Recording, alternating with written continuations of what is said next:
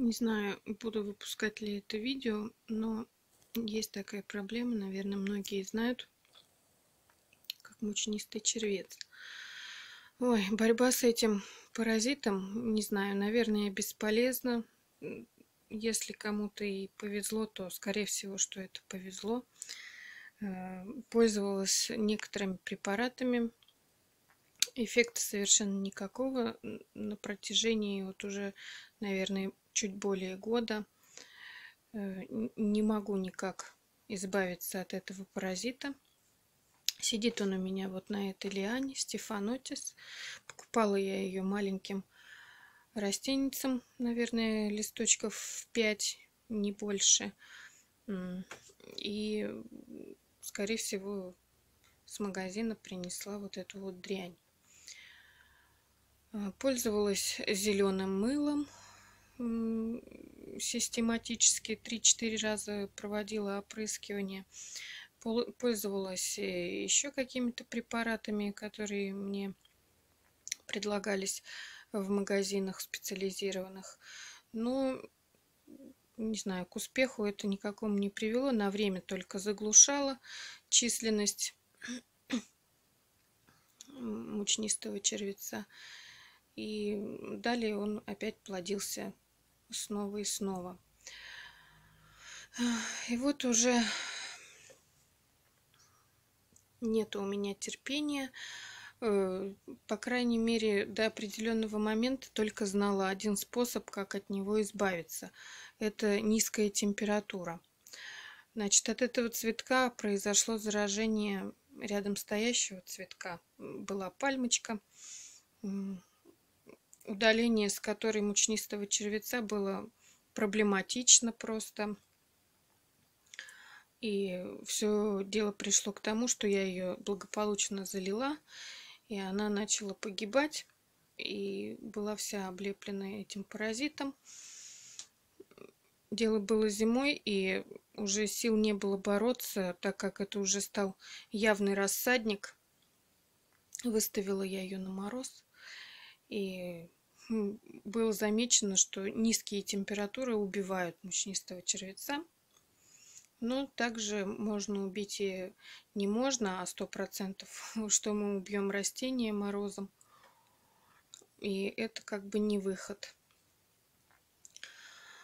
Еще впоследствии, значит, пробовала всякие разные препараты. Но что вот для себя заметила, используя обыкновенную салициловую кислоту двухпроцентную. Значит, э, боролась с вредителем как? Брала ватную палочку, окунала ее в пузырек вот, с салициловой кислотой. И, значит, точечно этой палочкой протирала все вот эти пазушки, где сидят вредители и заметила такой эффект. Не знаю, может быть, это просто от спирта или именно от содержания в нем салициловой кислоты. Значит, таракашки эти благополучно помирают, превращаясь в такое кашеобразное состояние желтого цвета моментально причем. Но точечно уже, когда такое поражение, очень трудно бороться, и можно пропустить визуально даже где-то какие-то яйца, кладки или даже и взрослую особь можно пропустить, не доглядеть, и что впоследствии приведет э, к обратному распространению вредителя. И вот что решила попробовать пойдя на свой страх и риск, потому что сил уже больше нет, боюсь за другие свои цветы. Я взяла, опять же, салициловую кислоту и попыталась ее развести. Не попыталась, а развела ее один к одному с обычной водой во флаконе со, с пульверизатором. И вот хочу опрыскать, чтобы попадало Смотрите, вот прямо раз. И смотрите, они на глазах пожелтели. Видите? И хочу опрыскать. Оп. видите, что происходит? То ли спирт, то ли содержащаяся в нем салициловая кислота растворяет этих букашек. Спирт, значит, салициловую кислоту развела для того, чтобы не обжечь растения. Хотя уже уверенно могу сказать, что точечное нанесение, когда я пользовалась ватной палочкой, смоченной непосредственно прямо из бутылька, не разбавленной, не наносит никакого вреда растению. Сейчас я обработаю весь цветок и потом посмотрим, что будет дальше. Хочу сказать, что э, спиртовая вот эта вот э, смесь действует моментально, и я перестрахуюсь, не буду выдерживать время в избежании риска, может быть, того, что попортятся листочки, да, спиртом обожгутся. Просто перестрахуюсь. Еще раз повторюсь, что от флакона с салициловой кислотой, когда макала палочку, абсолютно никаких повреждений, ни ожогов, э, никаких-то пятен, ничего не было. Просто так как хочу сохранить цветок, перестраховываюсь. И еще хочу отметить, что грунт я тоже меняла, когда э, обнаружила мучнистого червеца, обрабатывала и меняла грунт.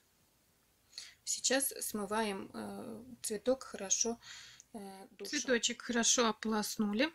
Также еще хочу добавить, э, смотрите как следует вот все палочки, все шпалерки, все-все-все-все, что у вас есть в цветах э, больных муч, мучнистым червецом, чтобы тоже вот места соприкосновений стволиков с этими палочками, он там тоже селится, прячется на этих шпалерках, тоже их промывайте, протирайте. И вплоть до... Вот у меня стоит на окне этот цветок. Сейчас пойду мыть э, окно, стекло, рамы, подоконник. Пойду промою со средством для мытья окон, стекол. И вплоть до смены штор. Потому что мучнистый червец может разноситься, даже вот вы штору открыли, махнули, и все, его понесло. Э, так что вплоть до смены штор. Итак, сегодня 18 сентября. Первую спиртовую обработку проводили 14 сентября. Прошло 4 дня. При осмотре, значит, не замечено ни одного кокона, да, как кладки мучнистого червеца.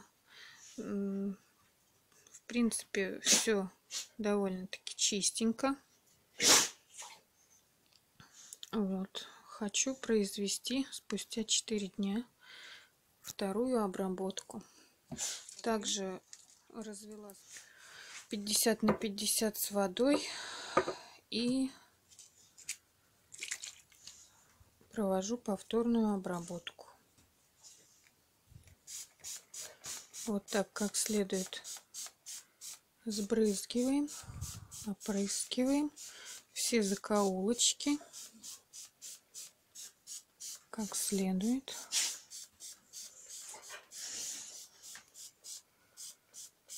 И на листочках, и под листочками.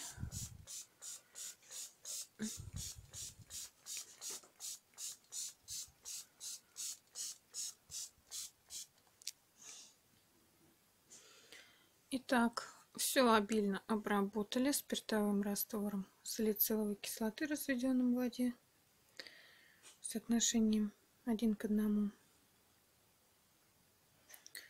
И сейчас пойду смывать.